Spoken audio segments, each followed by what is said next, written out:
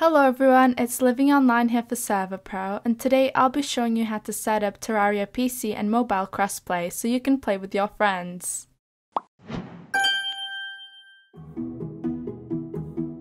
Firstly, to be able to download and set up this plugin, you'll need a T-Shock server set up. To do that, you'll want to head to the server.pro website. Then you want to head to your server's control panel. There you want to make sure that the game is set to Terraria, the type is set to T-Shock, and that the version is set to the latest version. When that's done, you'll have to make sure you have a world created. If you don't have a world created, when you try to join your server, you'll get stuck on a loading screen since no world has been made. To prevent this from happening, you'll have to turn on your server and when it's finished booting booting up, head to console. Then to create a world for your server, all you have to do is follow what's instructed on the screen. For example, if you type N in the command box and enter, it creates a new world. And then when it asks you what size you want your world to be, if you want a medium sized world, type 2 and press enter. It'll do this for a couple more features so you can customize your server to your liking. However, if you just want your server and world to have the default settings, make sure to turn your server off and when it's fully stopped, head to the files section. Scroll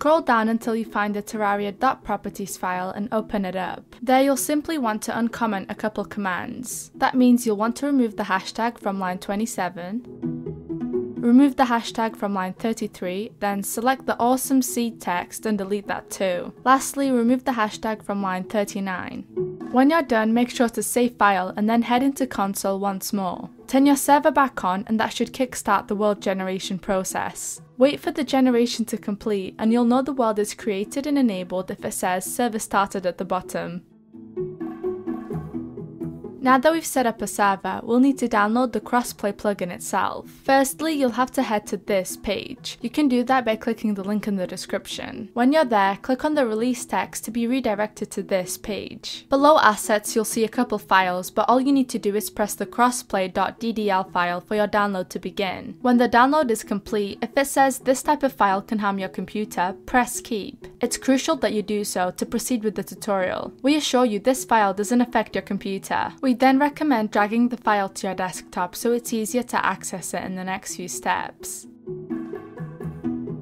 Back on Server Pro, head to your server and into the Files section. There you should open up the Server Plugins folder. That is where you're going to drag the crossplay.dll file. It should take no time to upload, so when it's done, quickly restart the server to make sure the plugin takes effect. At console, you'll know the plugin is installed properly when it says crossplay has been enabled and whitelisted all the following versions. These are all the versions that are able to join the server. To ensure everything is working as intended, open up your Terraria application and head into the multiplayer section. Click join via IP and when it asks for the server address, head to your server's dashboard and copy the host name. Paste that and click accept. When it asks for the server port, head back and copy the number under port. Paste that in once again and click accept. It'll take a couple seconds to connect you to the server, but when you're in, you'll know the server is working if it says T-Shock for Terraria in the chat box. As you can see, it's now working on PC, so it should also be working for mobile devices. To check if this is the case, you or your friend can open up Terraria on mobile. Head to multiplayer, select the character you want to use, and then click on the online tab.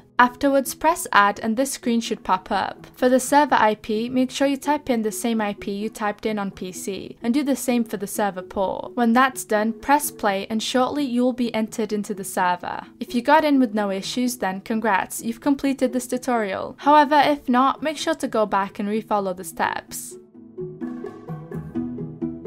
Well, that's it for this video. If you have any questions, make sure to leave them down below. And if you enjoyed this video, subscribe to see more from my channel. Thank you for watching!